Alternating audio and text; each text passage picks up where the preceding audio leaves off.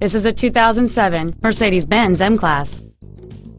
It has a 3.5-liter six-cylinder engine, a 7-speed automatic transmission, and four-wheel drive.